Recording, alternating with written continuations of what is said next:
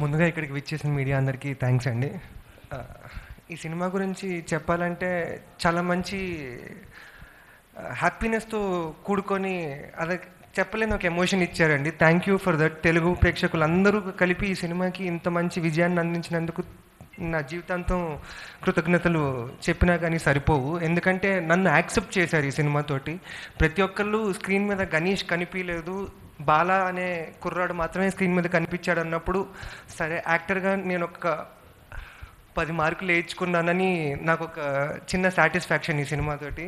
అలా నా దగ్గర నుంచి ఈ పర్ఫార్మెన్స్ తీసుకున్న లక్ష్మణ్కి thank you so much and ఈ కథకి ఈ కథ నా దగ్గరికి తీసుకొచ్చినందుకు కూడా లక్ష్మణ్కి thank you so much and ఈ కథని నాకన్నా లక్ష్మణ్ కన్నా ఎక్కువ నమ్మి ఈ సినిమాకి కావాల్సిన సమ అన్నీ సమకూర్చి ఒక మంచి సినిమా మీ ముందుకు తీసుకొచ్చేదానికి the biggest reason is Sithara and Nagavamsi garu.